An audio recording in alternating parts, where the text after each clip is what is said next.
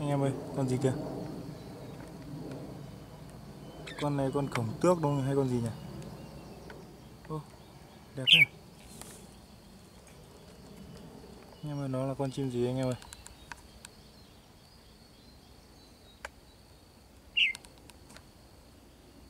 Lần đầu tiên được nhìn thấy nó đây.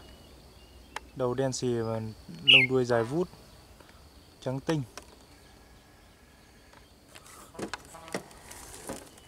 Đi theo nó nhé đi theo nó xem nó có gì.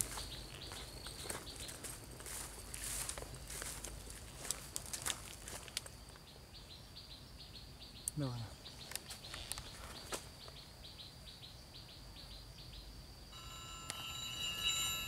Ok okay, okay.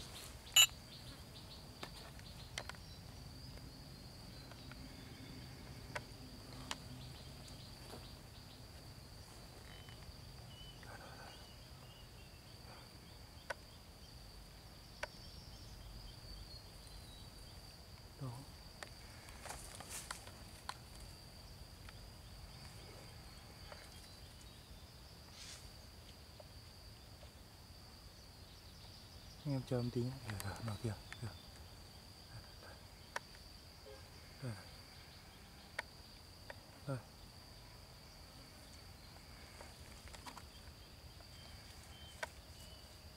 Đây.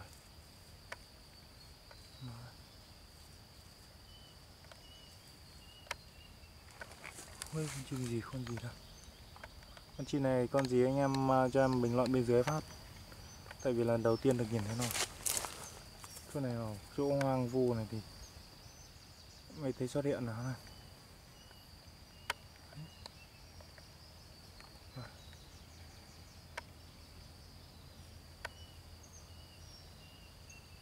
đẹp chưa?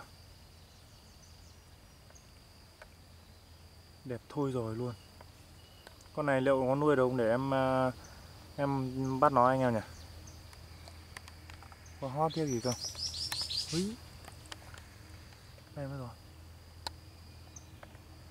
Đây ở đây mất rồi. Vào đây thì phải ok anh em giờ này em đi bẫy tiền móm rồi. Chào anh em nhé anh em mà biết con chim này, chim gì cho em bình luận bên dưới phát. Tại vì trong đời chưa được nhìn thấy con này bao giờ. Ok, chào anh em.